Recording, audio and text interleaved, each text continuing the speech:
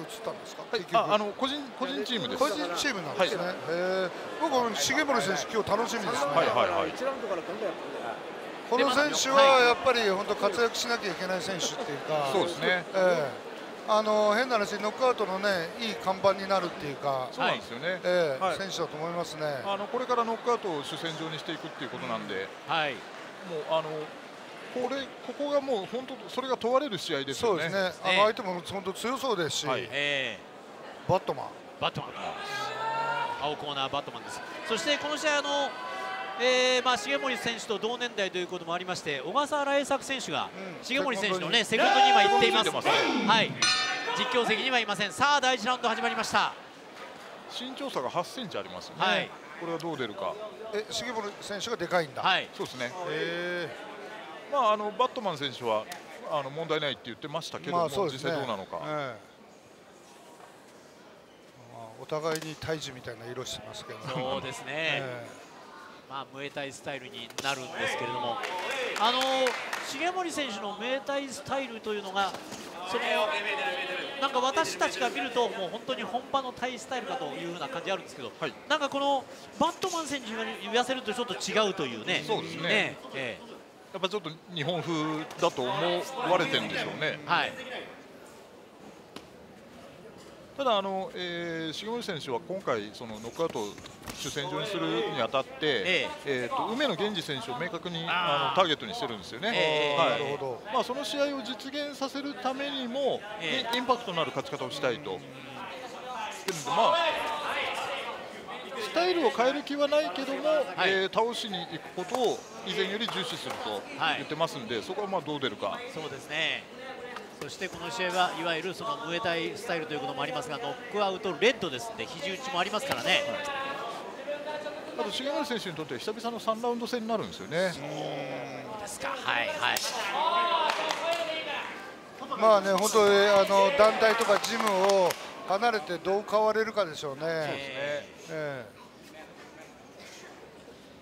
ローキック重森ともに右のオーソドックススタイル。マン選手見てますね。見てますね。ますね。でもローキックいいと思いますよ、重森選手は。効いてくると思いますけどね。内ももの蹴りとか、あのバットマン選手がね、このスロースターターっぽいんで。どんどんどんどんダメージ蓄積させたいですよね。いきなり右が伸びてきましたバットマ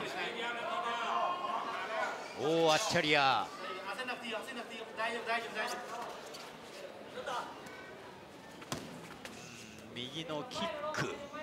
バットマンオーアッチャリア。やっぱでもこうリズムが独特ですよね。そうですね。この内股のローキック効いてると思いますけどね、はい、前足のローキックですよね、えー、これバンバン蹴っていくといいと思いますけど。これですねこれ。これ、ね、これ。ですね。これがいいですよ。これいいですよ。ローキックいいですよいきなりこの右のパンチを出していきます。バットマン大あっちゃりやつきましたね。あアッパー気味です嫌ですよね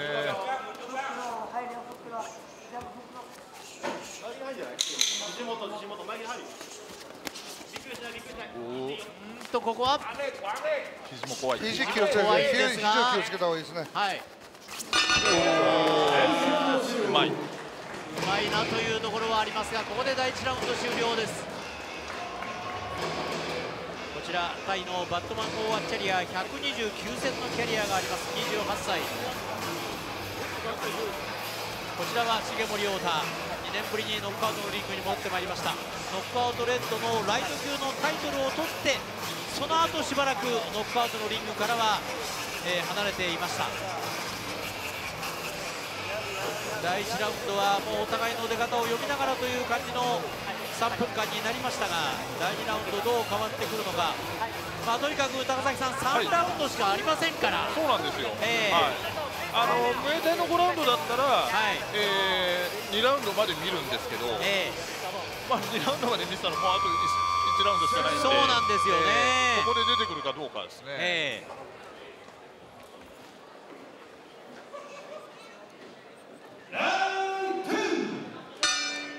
第2ラウンドが始まりました。さて少し動きがあるのか。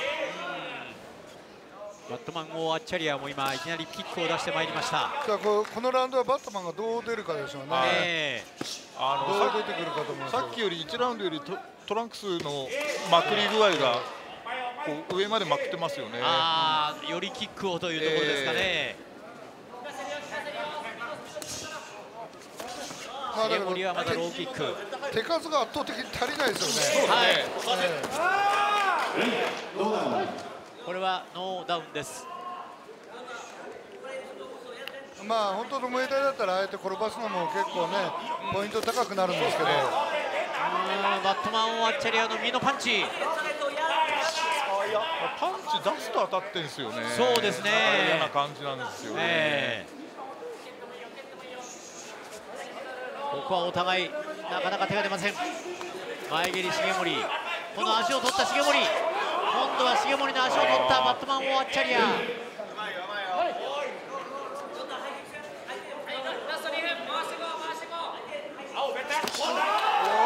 っと。この辺りもバットマン・オアッチャリアうまいところです。左のフック重森。ちょっと明確にねあの重森ペースに見せられるといいですけどね。そうなんですよ、ね。えー、やっぱりなんかリズムがねバットマンリズムになってるから、そうですね。出る。体勢入れ替える重森流れ変えたいですよね。変えたいですね。足を取ったバットマン。第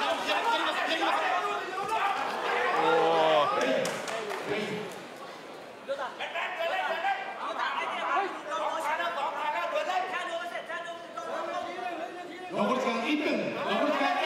ラウンド残りは1分です。バットマンの右のミドルが来ました。ベルバットマンをワッチャリアそして足を取って。いや重森が随分こかされてますよねさっきから、えー、有効打はね重森選手が多いんですけどね、本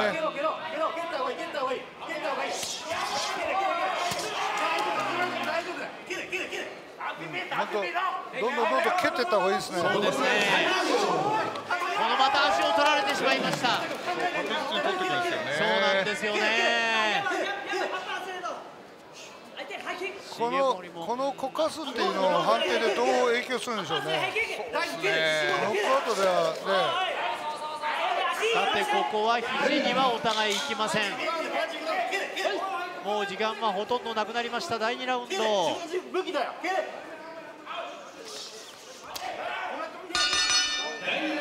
第2ラウンド終了です。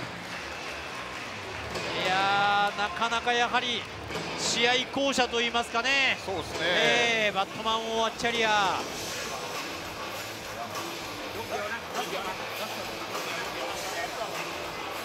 第2ラウンド。ここもこうして重森をね。こかすシーンですがこういうシーンが結構あります残すは第3ラウンドのみ。まあ、重森自身もこのバットマン・オアッチャリアはいろんなことができるし非常に強い選手だというね、はい、そんなコメントはしてたようですけどもね、ね。えー、リングで実際こうやって戦ってみてどんな印象をここまで持っているのか。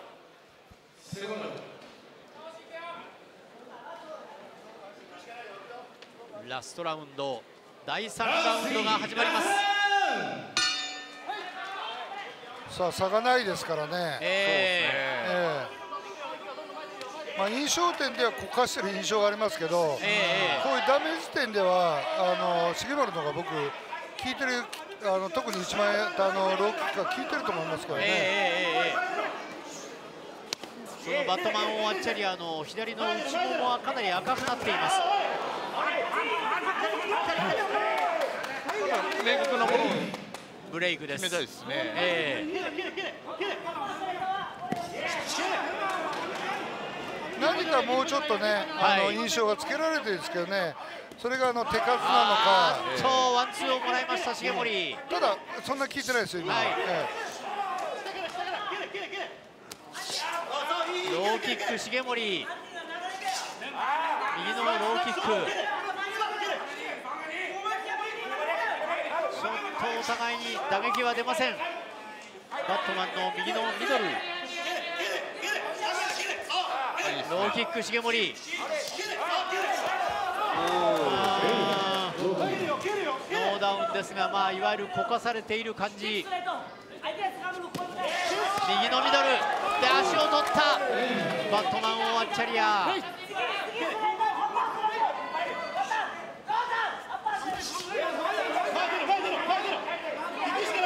肘打ちありのレッドルールですがそういうシーンはここまでほとんどありません。第3ラウンド。右お互いにパンチは当たっている。前蹴り重森デルノフック重森ローキック重森もうちょっと手数出してほしいですね。はい。第3ラウンド。残りは1分はしてるんですがなかなかあれですよね。ボディーブローバットマンオアチャリア。右のミドル重森。いいですよ。いい蹴りですよ。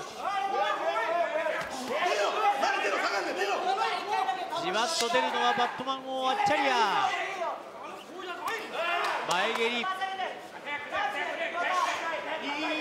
や谷川さんおっしゃったように手数が欲しいですけどね重森なんかね、あの重森選手の方がいいんですけど、あのこかしてるっていうあの見栄えでですね、えー、バットマンがちょっと帳消しにしてるところがあるんで。ありますね。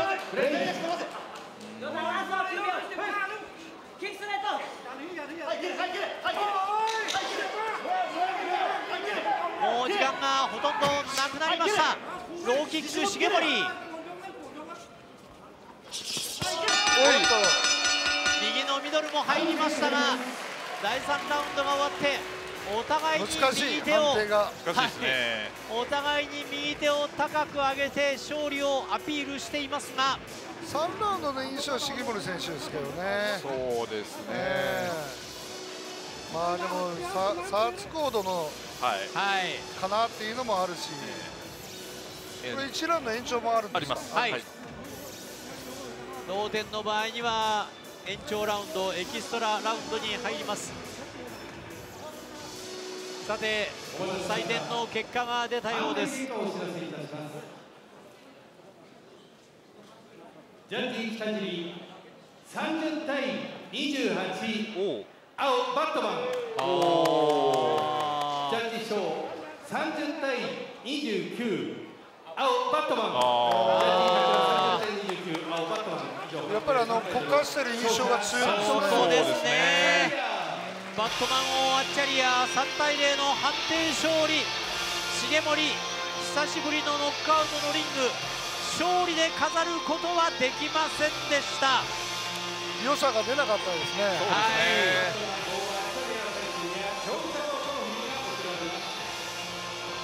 まあそのしかし谷川さん印象も含めてやはりうまさというのはありましたかね。ありましたね。えー、あのやっぱりあの要所要所で転倒させる行為が、えー、あのの差だだけだと思うんですけどね。